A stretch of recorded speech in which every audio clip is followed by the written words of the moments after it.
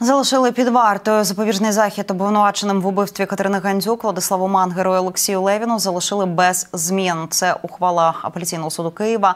На цьому засіданні була і кореспондентка п'ятого Ірина Шевченко. І зараз вона нам е, розкаже, як сторони відреагували на рішення суду. Ірино, тобі слово, як реагував і захист, і обвинувачення, і чи були активісти.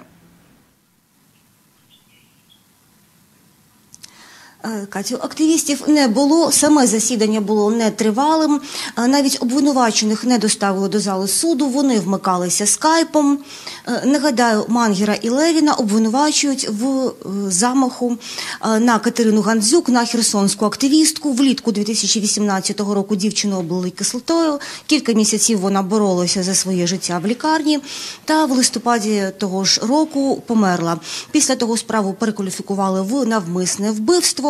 Зараз вже її по суті розглядає Дніпровський суд Києва, а адвокати Мангера і Левіна вирішили оскаржити тримання під вартою для своїх підзахисних.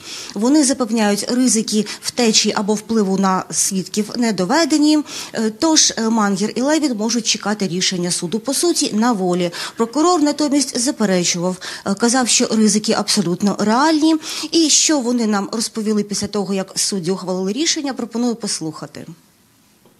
Хочу звернути увагу, що багато людей не розуміють суть запобіжного заходу. Вона полягає не в тому, щоб карати особу, бо вона не доведена. Вона полягає в тому, щоб уникнути е, ризику того, що людина буде переховуватися. Е, будь-яких ризиків того, щоб мангер переховувався, прокурором так і не було доведено. Фактично, будь-яку людину можна затримати і тримати під вартою, тому що теоретично будь-яка людина може захотіти переховуватися від слідства і суду. Київським апеляційним судом залишено без задоволення апеляційні скарги захисників обвинувачених Мангера та Левіна. Суд прийшов до того висновку, що рішення суду першої інстанції про застосування запобіжного заходу у вигляді тримання під вартою відносно Мангера та Левіна є законним.